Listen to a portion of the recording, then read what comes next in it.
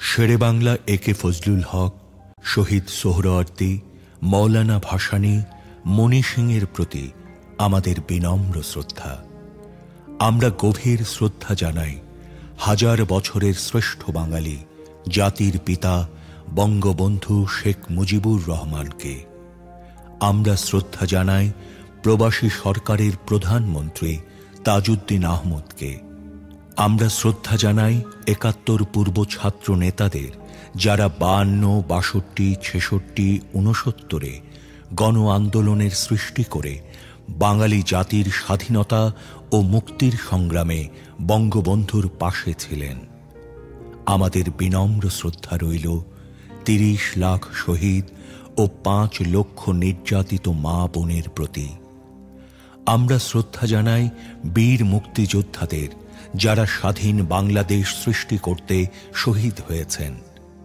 আমরা শ্রদ্ধা জানাই লক্ষ লক্ষ মুক্তিযোদ্ধাকে যাদের বীরত্বের কারণে আমরা স্বাধীন বাংলাদেশ সৃষ্টি করতে পেরেছি। আমাদের গভীর শ্রদ্ধা রইল একাত্তর সালের সেই জনগোষ্ঠীর প্রতি, যারা সীমাহীন কষ্ট ও নির্যাতন ভোগ করে মুক্তিযুদ্ধের প্রতি অনুগত থেকে মুক্তিযোদ্ধাদের সর্বাত্মক সহযোগিতা দিয়ে স্বাধীন বাংলাদেশ সৃষ্টিতে ভূমিকা রেখেছেন। এদের সবার কাছে আমরা ঋণী। হাজার বছরের শ্রেষ্ঠ বাঙালি, জাতির জনক, বঙ্গবন্ধু শেখ মুজিবুর রহমানের কাঙ্ক্ষিত বাঙালি জাতীয়তাবাদী চেতনার বিকাশ, শোষিতের গণতন্ত্র, শোষণমুক্ত, বৈষম্যহীন সমাজ, মানবিক মূল্যবোধ, সামাজিক ন্যায় বিচার সামাজিক অর্থনৈতিক রাজনৈতিক সাম্য প্রতিষ্ঠা করে জনগণকে ক্ষমতার প্রকৃত মালিক করে আমরা এদের ঋণ শোধ করতে পারি। আসুন আমরা আমাদের পূর্বসূরিদের ত্যাগকে স্মরণ করে তাদের নির্দেশিত পথে দেশকে এগিয়ে নিই। জয় বাংলা। আমার নাম মেজবাউদ্দিন আহমেদ। আব্বার নাম? দালিল উদ্দিন আহমেদ। আপনার আম্মার নাম? মাকসুদা খানম। আচ্ছা আপনার স্থায়ী ঠিকানা পুরো ঠিকানাটা বলেন। তেরো বাই এক Alamganj lane mill barrack Gendaria. Dhaka. যুদ্ধের সময় আমি ছাত্র এবং ছাত্র অবস্থায় আমি ট্রেড ইউনিয়ন আন্দোলন করতাম। আমার ট্রেড ইউনিয়নের কাজ ছিল সারা দেশব্যাপী। আর মেনলি পোস্তগোলা শ্যামপুর এই এলাকায় আমি কাজ করতাম। আপনি সে সময় কোথায় পড়াশোনা করতেন? ও জগন্নাথ কলেজে আমি তখন জাস্ট ডিগ্রি পাশ করেছি মাস্টার্স পড়ছি। আমি ছাত্রলীগ করতাম। ছাত্রলীগ করার সময় সিরাজুল মালাম খানের সাথে যুক্ত হই। উনি একটা ছোট্ট নিউক্লিয়াস গঠন করেন যারা যেটা বাংলাদেশের স্বাধীনতার পক্ষে কাজ করছিল। আমরা সেটার সাথে যুক্ত হয়ে সেই সময় ছাত্র আন্দোলনটাকে স্বাধীনতা আন্দোলনে গণতান্ত্রিক আন্দোলনটাকে স্বাধীনতা স্বাধীনতা আন্দোলনে রূপান্তর করার চেষ্টা গণতন্ত্রের লড়াইটার সাথে ছয় দফা আন্দোলন, যেটা সাহিত্য শাসনের আন্দোলন। সাহিত্য শাসনটাকেই একেবারেই স্বাধীনতা আন্দোলনে বোঝাবার জন্যে পদ্মা, মেঘনা, যমুনা, তোমার আমার ঠিকানা, পিন্ডিনা, ঢাকা ঢাকা, এইসব স্লোগান আমরা আনি। তখন একটা সামরিক শাসনের অবস্থায় এই পর্যায়ে নিয়ে যাওয়া অত্যন্ত কঠিন ছিল। আওয়ামী লীগের নেতারা ছিল জেলে এবং আওয়ামী সেই সময় সাংগঠনিকভাবে অত শক্তিশালী না, ছাত্রলীগের উপর নির্ভর ছিল। আমরা কিছু ছাত্রলীগের লোক তখন ঢাকায় এই আন্দোলনটাকে তুলে ধরতাম এবং সারা দেশেও। আমি উনিশশো ছেষট্টি সালের সাতই জুন শ্রমিকদের মধ্যে হরতাল ধর্মঘট করতে গিয়ে গ্রেপ্তার হই পোস্তগোলা থেকে। জেল থেকে বেরোবার পর নাইনটিন সিক্সটি সেভেনে শিক্ষা দিবস হয়, সতেরোই সেপ্টেম্বর। সেই সময় তিনজন ছাত্র মারা যায় নবাবপুরে। সেটা উল্টো আমাদের নামে কেস দেওয়া হয় এবং আমার নামে ওয়ারেন্ট ইস্যু হয়। আবার আরেকটা ওয়ারেন্ট ইস্যু হয়, সেই সময় আমরা একটা সংকলন বের করি, এই সতেরোই সেপ্টেম্বরকে কেন্দ্র করে। সেখানে প্রকাশে আমরা বাংলাদেশের স্বাধীনতার পক্ষে লিখেছিলাম। আমি আমার পরীক্ষা দিতে পারি না ওয়ারেন্টের জন্যে। তখন ইউনিভার্সিটি কলেজগুলি সরকার বন্ধ করে দেয় আন্দোলনের ফলে। আর সেই সময় তো ইত্তেফাকও বন্ধ, ইত্তেফাক ছিল একটা পত্রিকা যেটা আওয়ামী লীগের পক্ষে, আমাদের পক্ষে লিখত। বঙ্গ বঙ্গবন্ধুর জেলে আগরতলা ষড়যন্ত্র মামলা, মামলার ট্রায়াল হচ্ছে। এই পরিস্থিতিতে আমরা কাজ করেছি। সিক্সটি নাইনের আগ দিয়ে আমরা তখন আঞ্চলিক ছাত্রলীগ গঠন গঠন শুরু করি। যে যেহেতু কলেজগুলি বন্ধ কলেজ ভিত্তিক কোনো কিছু করা যাচ্ছে না, তখন এই পূর্বাঞ্চল ছাত্রলীগ করি ফৈদাবাদ স্কুলে, তারপরে আমরা উত্তর অঞ্চল করি, সেটা হলো মালিবাগ ওই দিক দিয়ে ধরে। এইভাবে ছাত্রদের মধ্যে সংগঠন করতে থাকি। যেটা রেজাল্টটা উনসত্তরের গণ আন্দোলনে আমরা মোবিলাইজেশন করতে পারি। আর তখন ছাত্রলীগের থেকে ছাত্র ইউনিয়ন অনেক বেশি স্ট্রং ছিল। সেই সময় আমাদের ছ দফা নিয়ে অনেক বিরূপ প্রতিক্রিয়া তাদের মধ্যে ছিল। এবং বলতো এটা সিআইয়ের দেওয়া প্রোগ্রাম। এই, সেই সময় এই ছয় দফা থেকে এক দফা রূপান্তর করে মানুষের কাছে জনপ্রিয় করে তুলতে পারি। আর বিশেষ করে দুই অংশে ডিসপ্যারিটি বৈষম্য, পশ্চিম এবং পূর্ব বৈষম্যটা আমরা ভালোভাবে তুলে ধরতে পারি। সেটা একটা ভালো কাজে দেয়। মানুষ আমাদের পক্ষে আসে। তারপরে সিক্সটি নাইনে আমরা শ্রমিক লীগ গঠন করলাম, জাতীয় শ্রমিক লীগ। সেখানে আমাদের পোস্তগোলা থেকে শ্রমিক লীগে আসলেন মোহাম্মদ শাহজাহান। উনি কোনো সময় রাজনীতির সাথে যুক্ত ছিলেন না। ঊনসত্তরের গণ আন্দোলনে বিভিন্ন সংগ্রাম পরিষদ গড়ে ওঠে বিভিন্ন এলাকায়। ফরিদাবাদের গণ সংগ্রাম পরিষদের ওনাকে আহ্বায়ক করা হয়। তারপরে আসলেন আগেও উনি আগে থেকেই যুক্ত ছিলেন। সেটা আব্দুল মান্নান, চটকল শ্রমিক ফেডারেশনের জেনারেল সেক্রেটারি। উনি ছেষট্টি থেকেই আওয়ামী সাথে যুক্ত হন। উনি আরএসপি করতেন। আরএসপি একটা বামপন্থী দল। সেই দলটি গোপনে ছিল। রেভলিউশনারি সোশ্যালিস্ট পার্টি নির্মল সেনদের দল এটি। নির্মল সেন হলেন প্রখ্যাত সাংবাদিক। এখানে আরেকজন সেটি হলো রুহুল আমিন ভূঁইয়া। উনি হলেন তেজগাঁয়ের শ্রমিক নেতা, খুব বিশাল শ্রমিক নেতা। উনি সাতই জুন উনিশশো ছেষট্টি সালে ছয় দফা আন্দোলনে করতে গিয়ে গ্রেপ্তার হন এবং সেই দিন ছেষট্টি সালের সাতই জুন তেজগাঁয়ের শ্রমিকরা এসেই ঢাকায় সহ তেজগাঁয়ে ধর্মঘট করে। ধর্মঘট মানে আওয়ামী লীগের হরতাল আমাদের ছিল ধর্মঘট। না হলে এত বড় ধর্ম হরতাল হতো না। এবং তিনজন শ্রমিক মারা যায় তেজগাঁয়ে। এবং ওনার নামে প্রায় পঁয়তাল্লিশটা মামলা দেয় সরকার। উনি জেলে ছিলেন। সিক্সটি নাইনের পর উনি রিলিজ হন। আব্দুল মান্নান ভাইরাও কিন্তু জেলে ছিলেন চটকল আন্দোলনে। রিলিজ হন সিক্সটি নাইনের পর। সারা দেশেই এই উনসত্তরের গণ আন্দোলনের সময় যেটা হয়, সেটি হলো গণ আন্দোলনের সাথে সাথে শ্রমিক এলাকায় ঘেরাও আন্দোলন শুরু হয়। কলকারখানা বিভিন্ন ঘেরাও দিয়ে শ্রমিকরা তাদের দাবি আদায় করার চেষ্টা করে। তখন বিশাল এই আন্দোলনটা হয়। এই বিশাল আন্দোলনের এই এদের আমরা আমাদের ট্রেড ইউনিয়নে আনতে পারি। এবং আমাদের যদি এই সংগঠনটা না থাকতো, তাহলে এই আন্দোলনটা অ্যাকচুয়ালি অন্যদের হাতে চলে যেত। কারণ আওয়ামী লীগের কোনো ট্রেড ইউনিয়নের সংগঠন ছিল না। বরং ট্রেড ইউনিয়ন সংগঠন করার বিরোধী তারা ছিল। এই আন্দোলনে এই এই জায়গাগুলোতে অন- অন্যেরা কাজী জাফররা, তোহারা, এদের একটা লিভারেজ বেশি থাকতো। তো আমরা এদিকে, এদিকটা দিয়েও সফল আমরা হই। আর এই সময়টাতে আমরা স্টেট ইউনিয়নটাকে বেশি করে গড়ে তুলি। এই জন্যে যে আওয়ামী লীগ ছিল দুর্বল, আওয়ামী লীগের ঢাকা শহরেও, ঢাকা শহর কমিটি, নগর কমিটি, পূর্ণাঙ্গ একটা কমিটি ছিল না। এলাকার কমিটিগুলো থাকা তো দূরের কথা। উনসত্তরে গণ আন্দোলনের পর দেখা গেল সব জায়গায় আওয়ামী লীগের কমিটি। একটা না, দুটো, তিনটা করে কমিটি হয়ে গেছে। আর সত্তর সালের যখন নির্বাচন হলো, সেখানে আমরা অংশ ভালো করে অংশগ্রহণ করলাম। বিশেষ করে আমাদের শ্রমিকরা যেসব এলাকায় থাকেন, কুমিল্লা, নোয়াখালী, চাঁদপুর অঞ্চলেও যাই, দেখা যায় যে ঢাকা শহরের শ্রমিক অধিকাংশই নির্বাচনে ভোটার হলো তাদের এলাকায়। শ্রমিকরা যখন দেশে যায়, তারা কিন্তু ওই আমাদের কথাটি নিয়ে যায়। এটা খুবই আমাদের সাহায্য করেছে। গ্রামে, গঞ্জে, তাদের এলাকায়, তাদের ফ্যামিলিতে সত্তরের নির্বাচনের পর খানিকটা স্বস্তির সময় গেছে, কি হবে কি হবে না। কারণ আমরা তো জানি যে পাকিস্তানিরা ছয় দফা মানবে না। এবং ছয় দফা মানলে পাকিস্তান থাকে থাকেও না, এটাও বুঝি। সেই জায়গায় তারা যাবে না। তারা এই বাস্তবতা মেনে যে কিছু কনফেডারেশন বা এই পর্যায়ে আসবে, সে বোধ বুদ্ধি তাদের, সেটাও তাদের ছিল না। আমরা জানি যে এটা এখন মুক্তিযুদ্ধে যাচ্ছে। এবং সেইভাবেই মানসিক প্রস্তুতি আমাদের নিচ্ছিলাম। অসহযোগ আন্দোলন হলো সেখানে পোস্তগোলা অঞ্চলের নেতৃত্ব আমি দিতাম। আর এই শ্রমিক লীগটাকে গড়ে তোলা গোলার ব্যাপারে আলম খানের সঙ্গে আমি সাহায্য করতাম। আর সেই সময় আরেকটা কাজ আমি যেটা নিজের রিলেশনশিপ নিয়ে করি।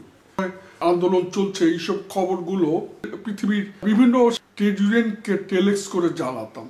আর একাত্তর সালে অসহযোগ আন্দোলনের সময় গুলি খেয়ে শ্রমিকরা মারা যাচ্ছে। কার্ফু ব্রেক হচ্ছে, এই খবরগুলো আমরা তাদের সমর্থন পাওয়ার জন্য টেলেক্স করতাম তখন তো ইমেল, ফ্যাক্স করার এগুলো কোনো সুযোগ ছিল না। পঁচিশে মার্চের বিষয়ে খুব আমি কিন্তু অবাক হইনি। এটার জন্য একটু আন্তর্জাতিক যোগাযোগগুলি করার চেষ্টা করছিলাম। তারপরে তো নির্বাচনের পরে যেই ডেডলক তৈরি হলো, মার্চ মাস চলে আসলো, যেদিন ওই পয়লা মার্চ এই এখন ঘোষণা করল এখানে ঘোষণার পর তো আমরা নেমে পড়লাম। প্রথম নামলো ছাত্ররা। ঢাকা স্টেডিয়াম থেকে বের হয়ে আসলো। খেলা চলছিল। দোসরা মার্চে তো স্বাধীনতা পতাকা উত্তোলন হলো। সে ঢাকা ইউনিভার্সিটিতে আসম আব্দুল রব করলেন। আমি এগুলি জানি, তখন সব কিছু হচ্ছে। সিরাজুল আলম খান ওর সাথে কথা হয় আবার। উনি জানান যে কী কী ডেভেলপমেন্টগুলি হবে এবং হচ্ছে। যেমন আমি ফ্ল্যাগের ব্যাপারে একটু দ্বিমত করছিলাম। করেছিলাম যে ফ্ল্যাগের ভেতরে আবার ম্যাপ কেন? এটা তো কঠিন হয়ে যাবে, এটা কেউ করতে পারবে না। তো বললে যে এটা যদি না করি, এটা একটা ভুল ব্যাখ্যা হবে। বলবে যে আমার শত্রুদের প্রচার করবে যে এটা দুই বাংলা এক করার একটা প্রক্রিয়া। এটা বোঝানো যে এই বাংলা স্বাধীনতা চাই। ওনার সঙ্গে একটা কাজই ছিল, সন্ধ্যার সময় পুরোনো পল্টনে শ্রমিক লীগ অফিসে আসা। উনি উনি জানালেন যে তেসরা মার্চ স্বাধীনতার ইস্তেহার পড়া হবে, আর ওইখানে যেন ভালো সমাবেশ হয়। কেন দোসরা মার্চে আমি পুস্তকগুলা থেকে মিছিল নিয়ে যাইনি? আসলে আমি ওই দিনের এই বিশাল ব্যাপার, ব্যাপকতা বুঝতেই পারিনি। আর সবসময় শ্রমিকদের তো মিল ফ্যাক্টরি থেকে বের করে নিয়ে যাওয়া সম্ভব না। তো মোহাম্মদ শাহজাহানের নেতৃত্বে আমরা বিশাল মিছিল নিয়ে সেই দিন ইয়েতে পল্টনে আসি। স্বাধীনতার ইস্তেহার শাহজাহান সিরাজ পাঠ করে। সেই সময়, বিকেলে, সেই সময় পূর্বাণী হোটেলে আওয়ামী লীগের সংসদীয় কমিটির মিটিং চলছে, আর এক পল্টনের স্বাধীনতা ইস্তেহার পড়া হচ্ছে। সেখানে নিয়ে বঙ্গবন্ধুকে পূর্বাণী হোটেল থেকে নিয়ে আসা হয়। তেসরা মার্চে আমাদের এই স্বাধীনতা ঘোষণাটা ছিল খুব ইলাবোরেট।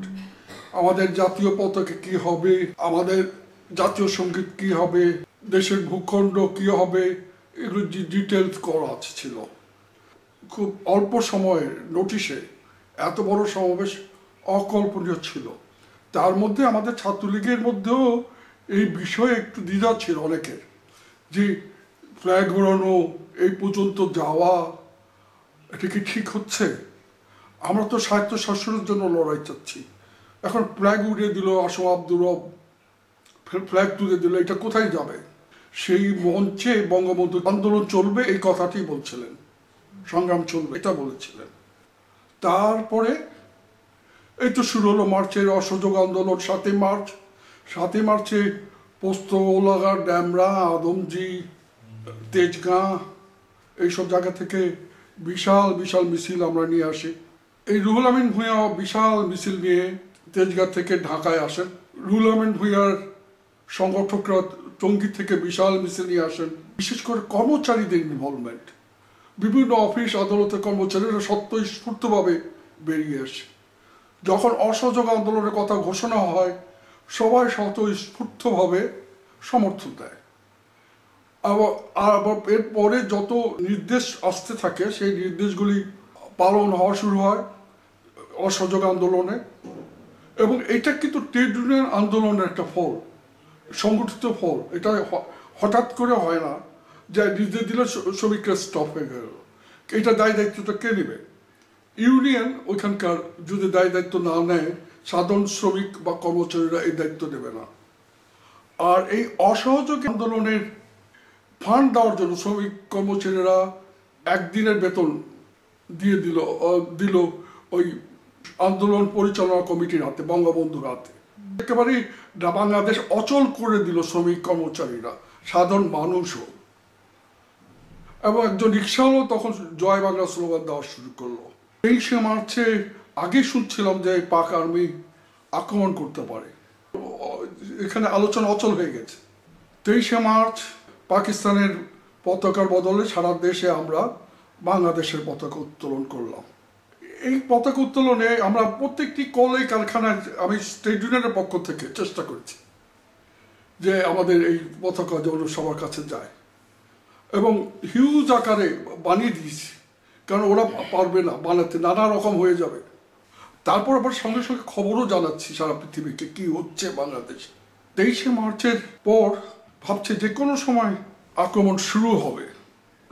ওইভাবে প্রস্তুতি আমি নিতে থাকি, সেইভাবে আমাদের বলা হয় পঁচিশে মার্চ গেলে পাঁচটা, চারটা, পাঁচটার দিকে। আমাকে মান্নান ভাই জানান যে সিরাজুল খানের সঙ্গে কথা হয়েছে। আমি বললাম, না। যাও ওনার সঙ্গে কথা বলে আসো। আমি গেলাম ইকবাল হলে। উনি বলল যে আজকে হবে, তাতে চলে যাও। তো তাতে চলে আসলাম, কিন্তু আমার আসার পরে ভয় ছিল যে পোস্তগোল এলাকার শ্রমিকদের একটা ধর্মীয় অনুষ্ঠান হচ্ছিল। তো ইনডিসক্রিমিনেটিভ ফায়ার করলে তো এই এই ধর্মীয় অনুষ্ঠানও গোলাগুলি করতে পারে। আমাকে বলা হলো ওদের এটা বন্ধ করার জন্য। আমি যে বন্ধ করতে চেষ্টা করলাম, ওদের পারলাম সেটা, তারা বুঝতে পারতেছিল না, কি হবে? এটা তো রিলিজিয়াস তারপরেও তারা যখন অবস্থা, গুরুতর অবস্থা টের পেল, তখন তারা এই অনুষ্ঠানটি বন্ধ করল। আমি তখন ফিরে ফিরে যাত্রাবাড়ি পোস্তগোলা সব কলে কারখানা জানিয়ে বাসায় এসে আমি আমার বন্ধু আমিনুল হক বাদশাহ একসময় শেখ বঙ্গবন্ধুর প্রেস সেক্রেটারি উনি থাকতেন ওনার মামার বাসায়, সেই মামার বাসা হলো বঙ্গবন্ধু পাশার পাশে। তাকে ফোনে খোঁজ খবর নিচ্ছিলাম।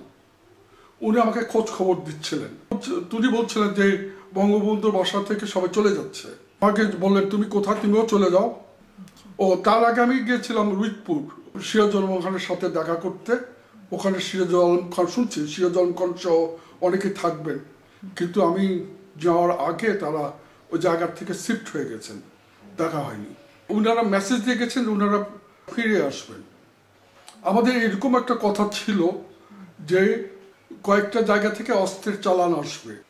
এবং ভেতরেই আমরা প্রশিক্ষণ নিয়ে ইনিশিয়াল আমরা রেসিস্ট্যান্সটা করব। পঁচিশে মার্চের ক্র্যাকডাউনের পর আমাদের যে এইসব প্ল্যান ছিল, যাদের যাদের নিয়ে কাজ করব, তাদের কারোর সাথে যোগাযোগ করতে পারিনি। চেষ্টা করেও না। তৈরি হয়ে নদীর ওই পারে চলে গেলাম। আমাদের, আমার সাথে দেখা হলো মান্নান ভাই, মোহাম্মদ শাহজাহান। নদীর ওই পারে শ্রমিকদের এলাকায়। শ্রমিকরা আমাদের রাখল বিভিন্ন স্থানে। তারপর আবার ঢাকায় এসছি আমি। ঢাকায় এসে অবস্থা দেখলাম, খুবই করুণ, বাড়িঘর পুড়িয়ে দেওয়া হচ্ছে। নদীতে লাশ। কয়েকদিন পরেই জিঞ্জির এলাকায় পাক আর্মি আক্রমণ করে, অনেক মানুষ মারে। তারপর আমরা শুনলাম, আমি শুনলাম যে কিছু ইপিআর অস্ত্র নিয়ে নরসিংদীর দিকে গেছে। ওখানে কিছু ফাইট হচ্ছে। ওদের সহযোগিতার জন্য বাসে এবং পায়ে হেঁটে আমরা চলে গেলাম নরসিংদীতে। প্ল্যান ছিল যে আগরতলা চলে যাওয়া। তো ওদের আমরা পাইনি। সেখান থেকে আমরা চলে, আমি আমি নবী, হাসান আমরা একেবারেই ওখান থেকে সরাসরি লঞ্চ নিয়ে হোমনা হোমনা থেকে সীমান্তের কাছাকাছি কসবাই থেকে তারপরের দিন ত্রিপুরা মতিনগরের ক্যাম্প, সেখানে কয়েকদিন থেকে ইপিআর মানে আমাদের এখনকার বিডিআর, এদের সাথে কিছু কাজকর্ম করে আমাকে আইনুদ্দিন বলল আরও লোকজন নিয়ে আসো। ক্যাপ্টেন আইনুদ্দিন, উনি পরে মেজর জেনারেল আইনুদ্দিন হয়েছিলেন। আর আমিও ভাবছিলাম যে নিয়ে আসার জন্য, কারণ আমি যেমন আমার সহকর্মী আতাউ শেখ আতাউর রহমান, দেলোয়ার, ফজলুর রহমান ভুলু আরও যারা ছিলেন, তাদের কারোর সাথে যোগাযোগ করতে পারিনি। তো এতে তো সবার লাগবে যুদ্ধে। ফিরে আসলাম। ফিরে এসে ওই আইনতিক বুদ্ধি করে আমাদের ছয় ছয়টা গ্রেনেড দিয়ে দিয়েছিলেন। ওই গ্রেনেড গ্রেনেড জাস্ট ফাঁকা জায়গায় কিছু জায়গায় থ্রো করি জাস্ট শব্দ হওয়ার জন্য। আর আমি তখন টার্গেটই বা করব কাকে? আর চারিদিকে তার পাক আর্মি নাই? এবং পরের দিন এটা ভালো রেজাল্ট পাই। যে মানুষ বলতে বলতেছে মুক্তিযোদ্ধারা আসছেই। এতদিন সাইলেন্ট ছিল, এখন আসছে তারা, ফিরে আসছে। তো মানুষের মরাল এটা ফিরে এসছে। মানুষ পালাচ্ছে, ওরা মায়ের টেনে চলে যায়। তারপরে আবার যাওয়ার প্ল্যান করছি ওদের ইয়ের ভুলুর সঙ্গে যোগাযোগ কর, কয়েকবার ওর বাড়িতে গেছি। ও টাইম দিয়েছে, আসতে পারেনি। আতা ওর অন্যদের পাচ্ছি না। কিছু শ্রমিক নিয়ে আবার ফিরে যাব। সেই সময় একটা ঘটনা বলি। মা আমাকে নিয়ে গেছিলেন আমাদের এলাকায় একজন প্র- প্রখ্যাত ডাক্তার আব্দুল ওয়াহেদের কাছে। আমার গ্যাস্ট্রিকের সমস্যা? ওই গ্যাস্ট্রিক চিকিৎসা করার জন্য। তো ওই গ্যাস্ট্রিকের চিকিৎসা ওষুধ টষুধ দিলেন এবং আমার দিকে ক্রুদ্ধ হয়ে তাকালেন। কারণ উনি তো চেনেন, আমার জানেনও। কারণ আমি তো ছাত্র আন্দোলন, শ্রমিক আন্দোলনের এলাকায় পরিচিত। উনি আমাকে বলেন যে, ফ্ল্যাগ ওড়াও, এখন মানুষ মারছে। মা ভয় আমার দিকে তাকায়। মা শান্ত হলেন যে, দেখলেন যে আমি কিছু প্রতিক্রিয়া দেইনি। উনি বলেই যাচ্ছেন যে করবেই তো করবেই তো। একটা স্বাধীন দেশে ফ্ল্যাগ ওড়ায়। মে মাসের প্রথম দিকে ইয়েতে যাব, আগরতলা যাব। তখন নদীর দিয়ে নৌকো দিয়ে পার হচ্ছি বুড়িগঙ্গা। মিলবাগ ঘাটের ওই অপর দিকে মীরের বাগে যাব। তখন দেখি উনি নৌকোয় করে বিভিন্ন ডেড বডি উল্টে পাল্টে দেখছেন। আমি যে নৌকো দিয়ে যে জিজ্ঞেস করলাম, চাচা, কি হয়েছে? বলছে, তার দুই কন্যা হাজব্যান্ডকে মেরে ফেলছে ইয়ারা, বিহারিরা। এটা দেখে আর কি, কিছু বলার অর্থ নাই। পঁচিশে মার্চের ভিকটিম কিন্তু উনিও। তারপরে আমরা ত্রিপুরা গেলাম। সেখান থেকে আগরতলা শহরে গিয়ে সময় নামে একটা পত্রিকা আছে। ওই পত্রিকা অফিসে গেলাম, সেখান থেকে শুনলাম যে আসম আব্দুর আমরা আগরতলা এসছেন, কলেজ টিলায় উঠছেন। কলেজ টিলায় গেলাম, তখন মফিজুর রহমান খান, আমার বন্ধুকে পেলাম। মফিজুর রহমান খান, কথা বলেন না, খুব অল্প, বলতে চায় না। তারপর আমাকে নিয়ে গেল, একটা বাড়িতে পরের দিন দেখলাম শেখ ফজলুল হক মনি আছেন আর অনেকে জিজ্ঞেস করল তুমি কি করবা? আমি বললাম, যে আমি মুক্তিযুদ্ধ করব। যে, তুমি তো এক ছেলে বাড়ির, তোমার পক্ষে তো একটা অনুচিত হবে এটা তুমি এখানে থেকে কাজ করো। না না, আমি মুক্তি ভেতরে যেই কাজ করব। তারপরে আবার এসে বলল যে, মান্নান ভাই তো খবর পাঠিয়েছে, তুমি আসলেই যেন তোমাকে কলকাতায় পাঠিয়ে দেওয়া হয়। ওই ট্রেড ইউনিয়ন, ভারতের ট্রেড ইউনিয়নদের মধ্যে কাজ করার জন্য এবং আন্তর্জাতিক ট্রেড ইউনিয়নগুলোর সাথে সহযোগিতা করার জন্য। আমি আর এটা উত্তর দিইনি। তারপরে পরে বিকালের দিকে মনি ভাই বললেন যে, ওকে, তুমি ট্রেনিংটা দিয়ে আসো, পুজো পড়লে থাকতে হলে এটা থাকবে। খুব সম্ভবত দশই মে, আবার আরও কোথাও বিভিন্ন ক্যাম্প থেকে যদি লোকজন আসছে, ওইখান থেকে আমাদের ট্রাকে করে ধর্মনগর বলে একটা জায়গা নিয়ে গেল। প্রায় তিন চার ঘণ্টা পথ। ওই এয়ারপোর্ট ওইখানে একটা এয়ার বেজ আছে, বা এয়ারপোর্ট ওই ওইখানে সব অনেকের সাথে দেখা হলো, এবং কার্গো প্লেন প্লেনে করে আমাদের বাগডোগরা নিয়ে গেল, শিলিগুড়ির। পাঙ্গা পাঙ্গা নদীর পাশে। সেখানে টেন্টে ছিলাম। ওই টেন্টে গিয়ে মনে হলো একটু আরামে আছি। কারণ ভাগ্যক্রমে আমার টেন্টটা ছিল আমার একা পড়ছে আমার কেউ দেয়নি। তখনও খড় বিছানো, তারপর উপর দিয়ে ত্রেপল দেওয়া, আবার কাঞ্চারা পানিটা নিয়ে এনে দেয়। কাঞ্চা মানে ব্যাট, ব্যাটম্যানের মতো ইসের নেপালি। ভালো খাবার দাবার। ওইখানকার স্টুয়ার্ট ছিল দাসবাবু। খুবই মাই ডিয়ার ম্যান। উনি অনেক যত্ন আত্মি করতেন। উনি আমাকে নিয়ে একবার শিলিগুড়ি শহর- শহরের দিকে নিয়ে গেছেন। তারপর আমাদের নিয়ে যাওয়া হলো ওখান থেকে সাহারানপুর সাহারানপুর থেকে আমাদের নিয়ে যাওয়া একটা একটা ভরা জঙ্গল এলাকায়, ঠিক এই জায়গাটার নাম নামটা ভুলে গেছি। আমার ইয়ে টেন্টটা ছিল পাদদেশে। উপরে আমাদের টেন্ট ছিল, একটা কমন টেন্ট ওখানে আমাদের ডাইনিং, লেকচার, অনেক কিছু হইতো তারপরে ওই ওই থাকলাম, ওখান থেকে আবার আমরা নয় দিন না দশ দিন পর চলে গেলাম চাকরাতা ট্রেনিং ক্যাম্পে। এখানে আমাদের explosive demolition light machine gun থেকে recoilless rifles three nought three থেকে এসএলআর এগুলো সবই শেখানো হয়েছে। এবং রিহার্সাল করছে ড্রিল হয়েছে, রাতের ড্রিল হয়েছে, রাতের যুদ্ধের ড্রিল হয়েছে, দিনের যুদ্ধের ড্রিল হয়েছে যতক্ষণই পারা গেছে এই দেড় মাসে তারা একে একেবারে কনডেন্স কোর্স তারা করে দিয়েছে। আমরা চলে আসার পর আমাদের থেকে সাতজনকে দায়িত্ব দেওয়া হলো ইনস্ট্রাক্টর হিসাবে এবং ক্যাম্প ইনচার্জ হিসাবে। যেমন Hasan al Haq Inu camp in charge ছিলেন, শরীফ নুরুল আম্বিয়া ছিলেন ইনস্ট্রাক্টর। তারপরে এইরকম কয়েকজনকে বাছাই করে দেওয়া হলো। এটা উদ্দেশ্য ছিল যে ওরা উগ্র হয়ে আমাদের হাতে সবকিছু দিয়ে দেওয়া। এই কথাটা বলার কারণটা হলো যে এই, যে আমাদের বলা হয় যে এটা ভারতের র বা এগুলোর বাহিনী এইসব এইসব কিছু না। হ্যাঁ অবশ্য প্রত্যেকটা বাহিনীর পিছনে ভারতের রয়ের লোকেরা কাজ করছে করছে, তাদের গোয়েন্দা দপ্তর তো কাজ করবেই।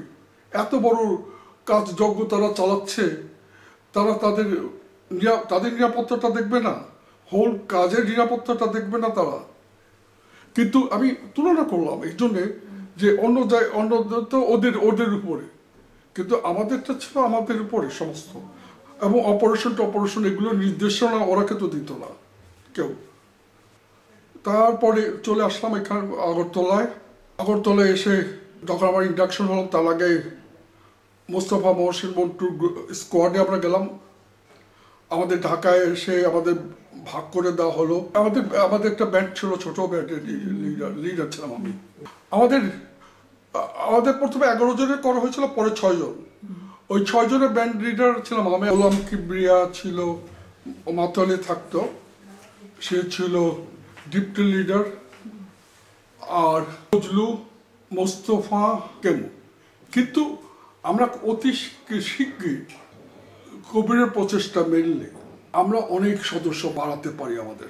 আমরা দেলপার ভুইঘর, ওই ডিএনটি প্রজেক্টে কেন্দ্র করি, চারিদিকে বিন্দু বিন্দু মতো করে আমরা হাইড আউট তৈরি করে সেখানে তাদের ট্রেনিং দিতাম, অস্ত্রের ট্রেনিং দিতাম এবং মোটিভেশন দিতাম। তখন আমাদের অস্ত্র একটু অভাবই দেখা দেয় অবশ্য আমাদের ঢাকা শহরে বড় কোনো অপারেশন প্ল্যান করা সম্ভব না। এই পর্যায়ে, যুদ্ধের এই পর্যায়ে। তো আমরা সেই ছোট ছোট কাজগুলি করা করল, করা শুরু করলাম। যেমন ইয়া খান এমনেস্টে ঘোষণা করল। সেদিনকে তো আমরা দু একটা গ্রেনেড ছুড়ে এটা প্রতিবাদ জানালাম। তারপরে আমরা পাগলায় একটা স্কুলে আর্মি ক্যাম্প করা ছিল দেলপার পাগলায় সেখানে একটা অপারেশন প্ল্যান করি। যদি এটা ফয়েল হয়, আমরা করতে পারিনি রাতে, যে ফিরে আসি। ওই নাজিমকে দিয়ে কল মেডিকেল একটা বিদেশি জার্নালিস্টরা পাগলা জেটিতে নিয়ে এসে প্রেস কনফারেন্স করে দেশ দেখাচ্ছিল। সামাদেব বলে একটা লোক ছিল, শ্রমিক, ঢাকা ম্যাচ। তার মাধ্যমে ওখানে একটা গ্রেনেড থ্রো করেছিলাম। পরে ওই পাগলা বাজার টাজার জ্বালিয়ে দেয়। এগুলি কাজ ছোট ছোট, প্রত্যেক দিনই আমরা কিছু না কিছু করতাম। এবং এগুলি বেশ ইম্প্যাক্ট ছিল। একবার আমি আর ইয়াকুব বলে এক ছেলে আছি, তিতাস গ্যাসের। পল্টনে শান্তি শান্তি কমিটিগুলোর এক বড় সমাবেশ হবে শুনছি। তো ওর আশেপাশে যদি কিছু, ওইখানে পারা না গেলেও আশেপাশে যদি কিছু করা যায় ভালো। তো ইয়াকুব কোনোভাবে গ্রেনেডটা ঢুকালো, সে মতিঝিলে চাকরি করে তো? ঢুকে বাংলাদেশ বিমানের সামনে ইটের একটি স্তূপে রেখেছিল। মিটিংটা একেবারে অনেক দূরে। তখন মসজিদটা ওই মাঠের ভেতরে, একটা কর্নারে। মানুষ যাচ্ছে, আসছে না, কম। স্টেডিয়ামে, স্টেডিয়ামের দোকানপাটগুলো বন্ধ। এবং ওইখানে যদি আমি হেঁটে যাই, মানুষ দেখবে। আমি আর ইয়াকুব প্রভিনশিয়াল রেস্টুরেন্টের সামনে দাঁড়ালাম। হঠাৎ দেখি পুলিশ। এই সেই একজন পুলিশ ইন্সপেক্টর আমাকে দেখে বোধহয় চিনছে বা চেনেনি বা আন্দাজ করছে, আমাকে বলে এখান থেকে চলে যাও, তাড়াতাড়ি তাড়াতাড়ি। তো আমরা আমরা একটু হেঁটে আবার আবার দেখি ওই পুলিশগুলি কি করে। ওই দিকে যাচ্ছে, আসছে, পুলিশ আছে আমাদের তাকে। মতিঝিল ফিরে আসলাম। বাংলাদেশ বিমানের সামনে একটা ইটের স্তূপে ছিল তিতাসগড় অফিসটা সামনে, এটা তো আর কিছু করা যায় না। কিন্তু বিমানে তখন দেখতেছিলাম, দেখছি যে কার্গোতে মাল উঠাচ্ছে, পানে। পানির ঝুড়ি যেত তখন।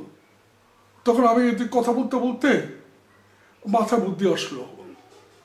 চলে আসব, গ্রেনেডটা নিয়ে আসব কেমন? আসলে তো পতাকাটা আটকা। ওই ওই পিন সহ ঝুড়িতে ঢুকে দিলাম। মালিকদের ভিতর দিয়ে আমরা ফিরে আসলাম। তারপর কোনো খবর নাই। ইয়াকুব বলল যে গ্রেনেডটা তো লস গেল। আপনি এটা কি কাজ করেন? থাকতো না এখানে। আমরা দেখো না, কিছু হতে হতে পারে। দুই দিন পর এটা নিউজ হইল যে বিদেশি নিউজ যে পিআইয়ের প্লেনে বোমা পাওয়া গেছে। ফ্লাইট বন্ধ ছিল কয়েক ঘণ্টা এবং এ, যাত্রী যাত্রী যায়নি এই ধরনের নিউজ থার্ড সেপ্টেম্বর ওই একাত্তর সালে। খুব সকালবেলা। ঘুম থেকে আমাকে উঠায় আমার যে বাড়িতে থাকে বাড়িওয়ালা। সে ফজরে নামাজ পড়তে গিয়ে ফিরে এসেছে। বলে হেলাল উঠো তুমি তো চারিদিকে ঘেরাও হয়ে গেছো। উঠে পালাবার চেষ্টা করছে। যে দিক দিয়ে যাইতে এখানে আর্মি। তখন আর উপায় না দেখে ফিরে আসছি। আমার বাড়িওয়ালা বাড়িওয়ালি বলছে, এর কোনো উপায় নেই? তোমাদের কি? তোমাদের কেউ থাকবে না পাহারার জন্য? তোমরা কীভাবে থাকো? ওরাও তো অনিরাপদ অবস্থার চিন্তা করছে। তো ওরা আমাকে বলল যে, ঠিক আছে, তুমি শুয়ে যাও। বিছানায় ওষুধপত্র এনে রাখল। মাথায় জলপট্টি, পানি টানি দিচ্ছে। পুলিশ আর্মি, মিলিশিয়া, এরা নামা বাড়ি বাড়ি সার্চ করছে। তারপরে এক- এক- একটা উৎকণ্ঠা চলছে। আর আমি কোভিডদের জন্য চিন্তিত, ওদের কি অবস্থা? তারপরে এসে আমার দিকে উকি দিয়ে দেখল। জিজ্ঞেস করে এর কি হয়েছে? বোকার? বাড়িওয়ালা ভালো চোস উর্দু জানতো, কারণ আলিয়া মাদ্রাসায় সে লাইব্রেরিয়ান ছিল। ওরা গরুর দুধ দোয়ানো হচ্ছিল, ওই দুধ কাঁচা দুধই খেয়ে ফেলল। একটু পরে শুনি পাশে বাড়ি ব্রাশ ফায়ার শব্দ। পরে জানলাম যে ওই বাড়িতে দুজন লোক ছিল বাবা ছেলে। ছেলে এটা দেখে আর্মি দেখে পালাচ্ছিল। আর বাবাও তার পেছনে, দুজনকে গুলি করে মারছে। আরও মর্মান্তিক হলো যে ওই বাসার মহিলাকে বলছে যে মুরগি ধরে দাও গোলাগুলি শব্দ শুনে মুরগিগুলি সব উড়াউড়ি করছে। উনি নিজের জীবন বাঁচাবার জন্য ভাত ছিটিয়ে মুরগি ধরে দিচ্ছেন তাদের। ওরা বাড়ি বাড়ি যাচ্ছে আর মানুষ, মেয়েরা বিশেষ করে মুখে পাতিলের কালি মাখছে এবং চুল টুল এলোমেলো করছে, পালাচ্ছে। যে যে যত নোংরা হওয়া যায় সেই রকম চেষ্টা করছে। তিনটের দিকে ওরা উড্র হয়ে গেল। খবর পেলাম যে কবিরা সেফ কবিরা ঘেরাও হওয়ার আগেই চলে যেতে পারছে পাগলা আমাদের আরেকটা ক্যাম্পে আমি গেলাম আগরতলায়। সেই সময় শুনলাম যে আমাদের শ্রমিকদের ট্রেনিং দেওয়া হচ্ছে। শ্রমিকদের বেলায় একটা সমস্যা ছিল ট্রেনিং এর ব্যাপারে। ওরা ওই তরুণ ছাত্রদের সাথে খুব মানিয়ে চলতে পারতো না। এখন এত শ্রমিক গেছে ওদের আলাদা ট্রেনিং দিলে ওদের জন্য সুবিধে। তখন শ্রমিক নেতাদের আমি পেলাম। মান্নান ভাই, রহমান ভাই, এরা আসছে। কয়ে হ্যাঁ অলরেডি হচ্ছে এটা। এটা তোমাদের কাছে পাঠাবো। ওদের ওই ক্যাম্পে গেলাম। তখন ব্রিগেডিয়ার সাবেক সিং ছিলেন। আমি প্রস্তুতি দেখলাম, চারিদিকে কবিরও গেছিল মাঝখানে। কবিরও দেখে আসতে পারে। যে প্রস্তুতি চলছে, রাস্তাঘাট তৈরি হচ্ছে বর্ডার এলাকায় ক্যাবেল ফেলতেছে ওদের ওদের ভারতের ব্যাংকার ট্যাঙ্কার ওইভাবে তৈরি হচ্ছে, দেখলাম একেবারে যুদ্ধ যুদ্ধ ভাব।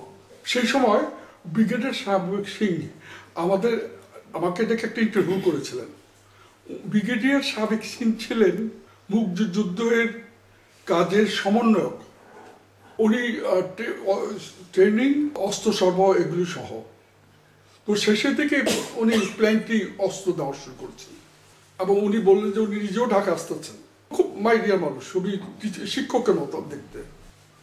তারপরে আমি চলে আসলাম, বেশ কষ্ট করে, খুব কষ্ট করে। এই এই কয়েকবারে খুব আরামে যাতায়াত করছি। এইবার কিন্তু অবস্থা খারাপ। তিন, চার দিন অ্যাটেম্পের পর বহু কষ্ট আসলাম এবং লাকিলি জানে বেঁচে আসছে। অক্টোবরে আমরা ইয়ে অপারেশন করলাম দয়াগঞ্জে। এই দয়াগঞ্জ অপারেশনটা ছিল কঠিন। যাত্রাবাড়িতে ক্যাম্প যাত্রাবাড়ির মোড়ে কাজলার সামনে ক্যাম্প। ক্যাম্প মানে বড় ক্যাম্প। সাইদাবাদের বড় ঘাঁটি। পোস্তগোলায় ওদের riverine battalion and camp. আর এই জায়গায় টহল পুলিশ আর্মি আছেই। কারণ ঢাকায় ঢোকার এন্ট্রেন্সের জায়গা। আমরা প্ল্যান করব রাতে কচু করা যাবে না। রাতে আমরা যাবেই বা কী করে? দেখলে তো গুলি করবে। দিনের বেলা যেতে হবে। দিনের বেলা যাওয়া কীভাবে? প্ল্যান হলো যে অস্ত্র আগে পাঠিয়ে দেব। কাছাকাছি একটা বাড়িতে আগে নেওয়া হয়েছিল। তারপরে দিনের বেলা ওইখান থেকে অস্ত্র নিয়ে অপারেশনটা হয়। ওইটা অনেক দূর। এই প্রথম মুক্তিযোদ্ধাদের মানুষ দেখল। তখন আমি যে সিগন্যাল দেওয়ার কথা সিগন্যাল উইথ বাংকারকে সাইলেন্স করে গ্রেনেড থ্রো করে, সেটার সম্ভব করার আগে আমি যা, ওই জায়গায় যাওয়া, পৌঁছার আগেই এটা হয়ে গেল। কিপ্রিয়া, যতদূর জেনেছি, সেটি হলো কিবরিয়া অস্ত্র নিতে গেছে নিচে। নিয়ে আসার সময় দেখে যে অলরেডি গ্যার আউট সে একটা পাশে বসে নিয়ে আশ্রয় নিচ্ছে। পরের দিন লাশ পাওয়া গেছে ব্রিজের নিচে হাতে দুই খাওয়া। তার ডেড বডি আনা হলো মা- মাতুয়াইলে তার জানাজা টানাজা হলো। স্বাধীন বাংলা বেতারকে তো দেরি করেছে কিন্তু বিবিসি টিবিসি দিচ্ছে সেই দিনই। আমরা চলে আসার সাথে সাথে ওরা পাক আর্মি পুরো এলাকা জ্বালিয়ে দিচ্ছে। অনেক বাড়ি ঘর জ্বালিয়েছে অনেক মানুষ মারছে।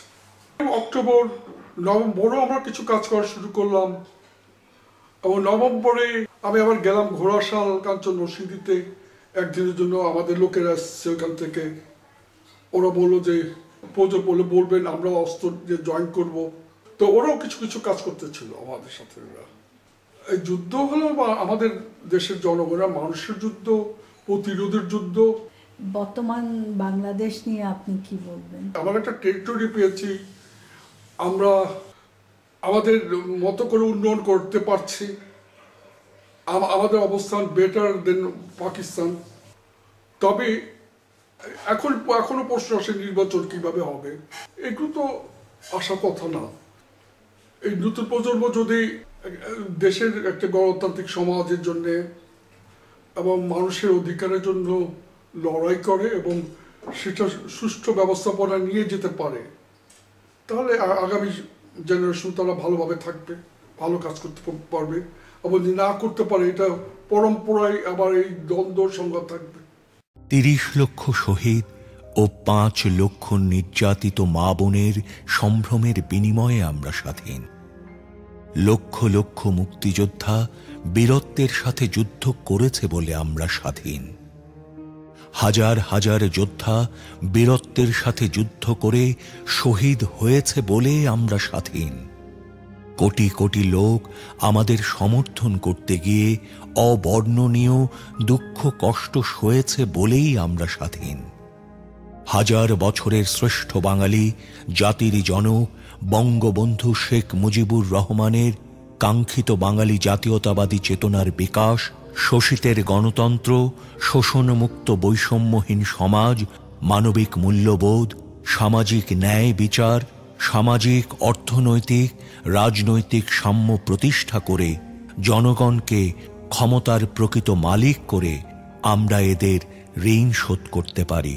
আসুন, আমরা আমাদের পূর্বসূরিদের ত্যাগকে স্মরণ করে তাদের নির্দেশিত পথে দেশকে এগিয়ে নেই।